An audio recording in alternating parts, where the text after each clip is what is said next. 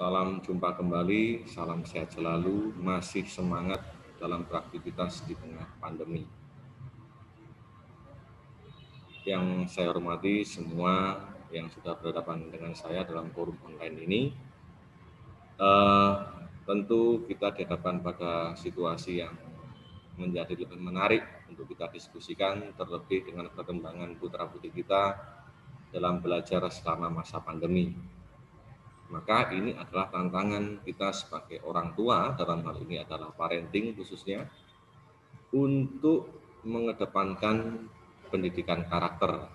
Karena memang tantangan yang fenomenal ini uh, bisa menjadi positif dan juga bisa menjadi negatif, mana kala modal pengetahuan, wawasan yang kita miliki ini setidaknya uh, bisa memberikan input terhadap perkembangan peserta didik, khususnya orang tua maupun para wali murid dalam memberikan pendampingan belajar selama di rumah. Nah, uh, hidup di era digital membuat pertumbuhan dan perkembangan anak-anak ini menjadi lebih dinamis.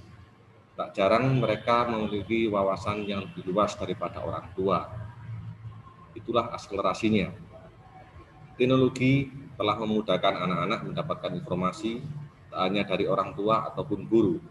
Anak berkembang lebih dinamis dan lebih cepat. Bahkan jarang memiliki wawasan yang lebih luas ataupun berbanding terbalik dengan orang tua dan para gurunya. Uh, gadget yang ada ini bukan selatnya kita hindari, tetapi manajerial terhadap Eh, apa namanya suatu kepentingan yang diberikan kepada anak-anak dalam ini adalah quality time ini menjadi uh, hal yang patut kita berikan support. Mengapa demikian? Karena bagaimanapun juga gadget ini sudah menjaga uh, sudah menjadi sebagai media atau sarana dalam pengelolaan pembelajaran anak-anak. Orang tua dituntut untuk juga bisa memberikan percepatan dalam hal ini pendampingan terhadap gadget ataupun teknologi dengan gawe yang sudah ada untuk bisa berrekreasi bersama, menciptakan berbagai aktivitas yang bisa melibatkan uh, seluruh anggota keluarga menjadi lebih menarik dan lebih bermanfaat.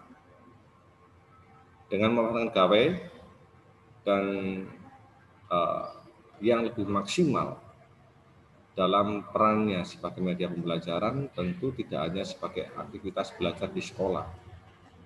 Sehingga tidak menjadi membosankan melainkan eksplorasi terhadap minat dan bakat ini bisa kita akumulasi menjadi lebih atraktif.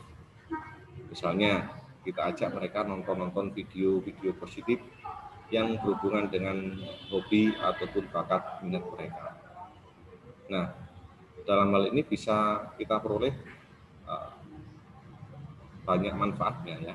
Informasi-informasi yang masuk, misalnya referensi tentang prakarya ataupun referensi-referensi pembelajaran, di mana memang hal itu menjadi lebih menarik untuk saat ini. Dan itu menjadi fasilitas yang terbaik di tengah uh, masa pandemi. Dan ungkapan yang menyebutkan bahwa gadget bisa menjauhkan yang dekat dan mendekatkan yang jauh ini juga belum tentu benar tergantung daripada konsumsi jajan itu sendiri uh, sejauh mana dan apa asas manfaat yang bisa kita dapatkan dari sana. Ciptakan suatu kehangatan dan kebersamaan dalam keluarga. Dan ini juga harus ada waktu yang penting. Di sisi lain memang banyak juga gawe-gawe uh, yang memiliki sesuatu yang lebih, artinya memiliki aplikasi-aplikasi yang lebih dan memang aplikasi ini mendorong terhadap tingkat kemampuan skill anak-anak. Nah ini sebagai satu fasilitas positif, saya rasa yang bisa menjembatani eksistensi anak-anak dan mereka akan menjadi lebih cepat, lebih kreatif seiring dengan perkembangan zaman.